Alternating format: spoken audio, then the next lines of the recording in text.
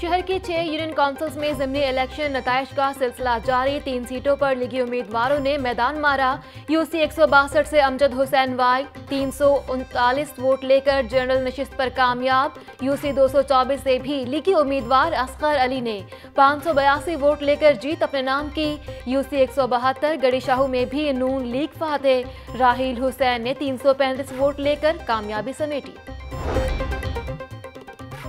تاجر برادری کا شعالم مارکیٹ میں آپریشن پر تحفظات کا اظہار، صدر انجمن تاجران مجاہد مقصود بٹ کہتے ہیں، آپریشن اپنی ڈگر سے ہٹ گیا، تجاوزات مافیا سے مکمکا ہو گیا۔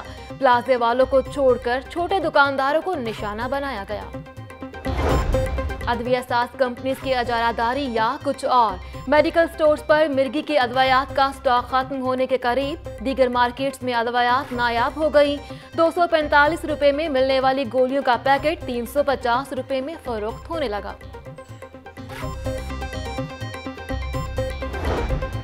بزدار سرکار کی سو روزہ کارکردگی تقریب، حکومت کا صوبے کے تمام اراکین قومی اور صوبائی اسمبلی کی تقریب میں مدھو کرنے کا فیصلہ، پنجاب حکومت نے بریفنگ نکات جاری کر دیے۔ وزیر اعظم عمران خان کل ہونے والی تقریب کے مہمان خصوصی ہوں گے۔ حکومت نے خزانہ کھول دیا، میٹروپولیٹن کارپوریشن سمیت بلدیاتی اداروں کو اکیاسی کروڑ سولہ لاکھ روپے کے فنڈز جاری۔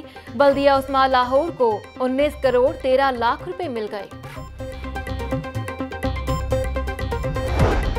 اور لاہور ہائی کورٹ کے جسٹس امیر بھٹی کی رہائش گاہ پر محفل میلاد کا اہتمام۔ جسٹس امیر بھٹی کے صاحبزادی کی شادی کی تقریبات کا آغاز محفل میلاد سے کیا گیا۔